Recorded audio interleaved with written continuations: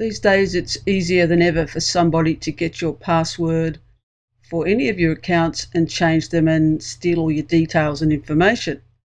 So this video will show you how to set up Google two-step verification. If you use Gmail and YouTube and Google Plus and Maps, uh, many other Google services all take the same password. So if one is compromised, all your other accounts are compromised as well. Google two step verification will send you a text message or a voice call or a code whenever you access one of your Google accounts on a different computer. So, how do you set it up?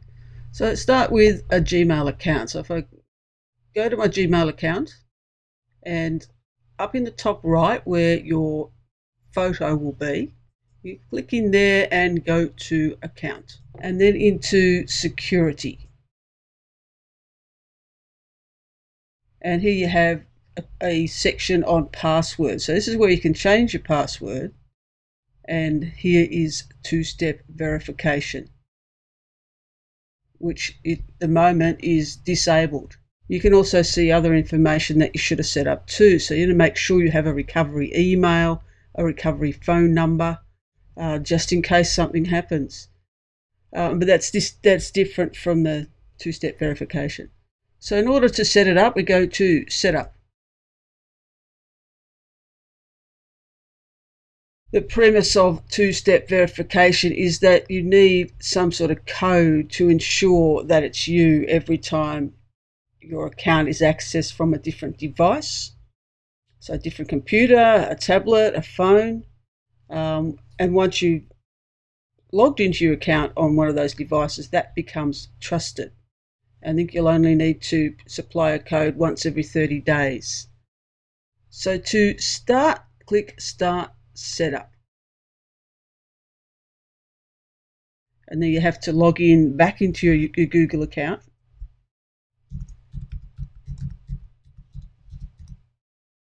And sign in. And it's a four step process to set up the verification. First, you need to decide do you want to have your codes delivered by SMS, text message, or a voice call? And for me, the text message is the simplest way because you've always got your phone with you. It can be annoying if you're you're at home and you're on your computer and then you have to go and find your phone. It's not actually sitting with you, but the inconvenience uh, is not as bad as somebody overtaking your account. The other one is voice call. So voice call would mean you'd provide a fixed home phone number um, that Google would call and provide a code. And I use that as an alternative. So I'm going to put in my phone number. So you need to select your country first of all. So I'm in Australia. It already knows that. So Australia comes up there. Then put in your mobile phone number.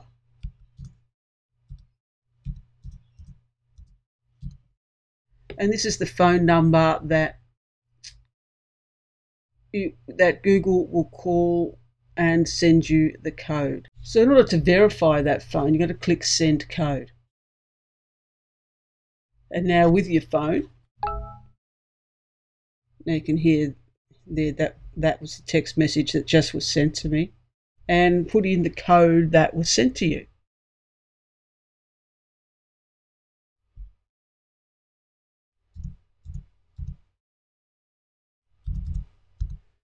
And this code is a once only code. So even though you know, you've got a, a, a text message on your phone with a code, it's no good to anybody else or even you. Once you put it in, or once a bit of time's elapsed and you haven't used it, you need another one. So verify. Now, if you didn't get the code, you could ask for a voice call. So perhaps your phone's out of battery or something's wrong with it. So I need to send the code again. And it's the same code.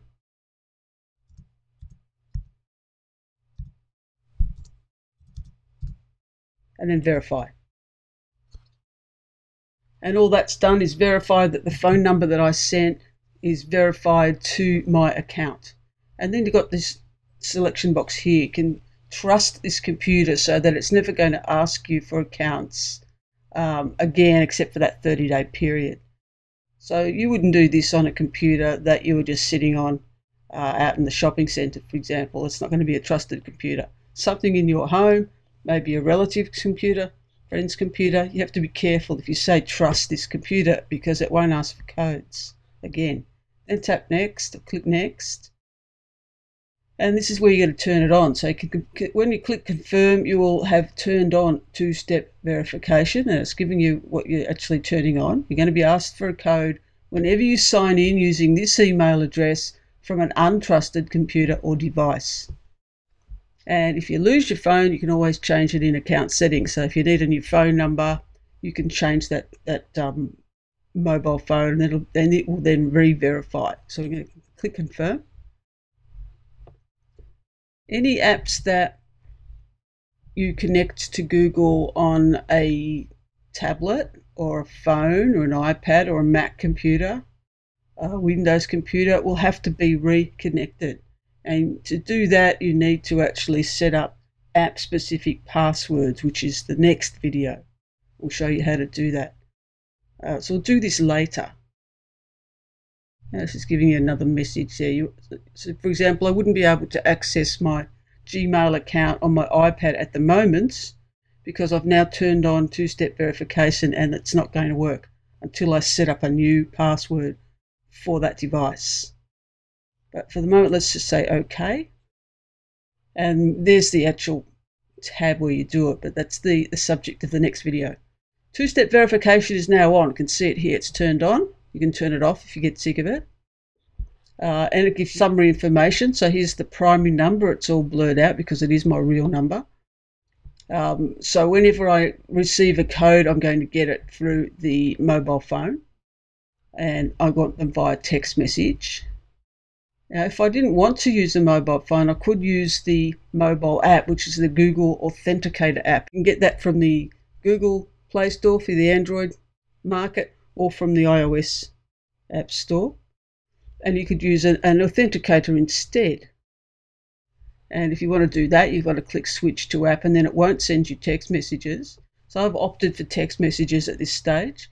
Uh, I should put a backup phone in there as well, so I could add another phone number, which would be my home phone number, because I have a fixed home phone number. Or it could be someone else's, uh, another person in the house, in the home's um, mobile and some backup codes. So if I don't have my phone available, I can get some code. So let's say click print or download. And there'll be a series of codes here that I could use if I don't have my phone with me. So I could print these off and, and keep them in a wallet, or I could print it off or save it and put it into a Dropbox account, which I can access. So if I haven't got my phone with me, here's some codes that I can use. And I would save them to uh, text file. If I run out, then I can generate new codes, and it's uh, often handy to do that. So if I save those to a text file, and then I would, what I would do is save them into my Dropbox. Save. And I put them into Dropbox because that's all. Uh, if I'm um, somewhere else and I've got internet access, I can get into my Dropbox account and see my codes. So they're only available for me for that um, device. And the only reason I'm showing them to you is that this account is a fictitious account, so it's uh, not used. Registered computers will also show you uh, other information about this computer and when it was registered, what that means. Require codes means that you, you remove it from the trusted list. So if I wanted to sign into YouTube, and I'm on the same computer, the trusted computer, I should be able to log into YouTube without it asking me for a code. So I do that on the sign in and just select that particular account because I'm using two different accounts here. I just have to put in my password and sign in. Click sign in. So it hasn't asked me for a code and it's just ensuring that I complete all of the two-step verification because I haven't put a backup phone in yet and it also tells me I've got 10 unused codes. Now I could update, click the update now button and put in another phone number. So I go into update, I think I better put a backup phone in and add a phone number, another Australian one.